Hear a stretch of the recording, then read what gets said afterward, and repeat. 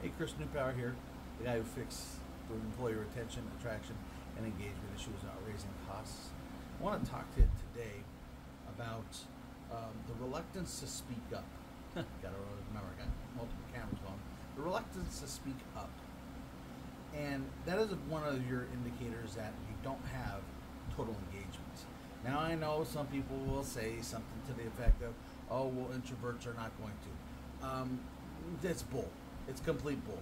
Introverts will when they are engaged.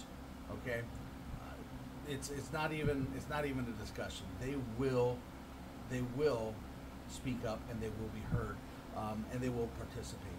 So if you want to know one of the very first things you can see where you are having a a, a, a definite challenge in your, your engagement is just ask for people to raise hands during a meeting or just to participate.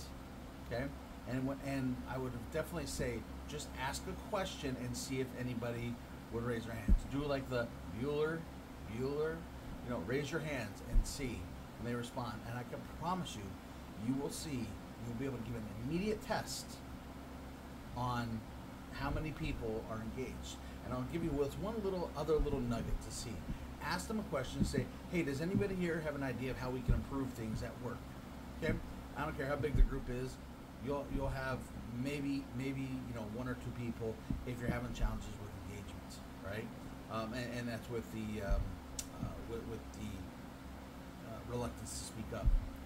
Okay, they put down their hands. Okay, and if you put your hand up and say, "Who here wants," and I'll just say pizza for lunch tomorrow. Okay?